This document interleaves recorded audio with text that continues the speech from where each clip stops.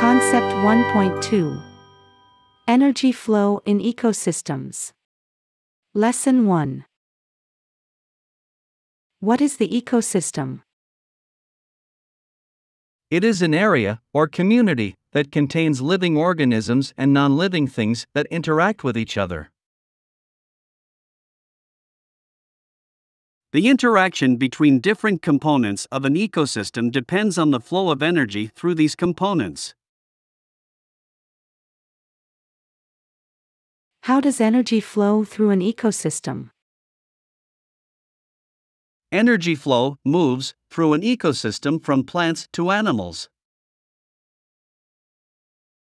And between animals when they eat each other. Then, when living organisms die, their energy is returned to the soil. Hawks in ecosystem. Hawks get energy from food. Hawks generally eat different types of animals such as snakes, mice, fish, birds, squirrels, rabbits, and other small ground animals. Hawks don't eat plants, but they eat animals who eat plants, so they also depend on plants for energy. There are few predators that can attack hawks, such as eagles or other hawks. What happens when the hawk dies? When a hawk dies, it decomposes and its energy is returned to the soil. What do you already know about energy flow in ecosystems? An ecosystem is a community that provides food, water, and shelter to all living organisms live in it. There are many different ecosystems on the earth such as ocean, a rainforest, a desert, or the tundra.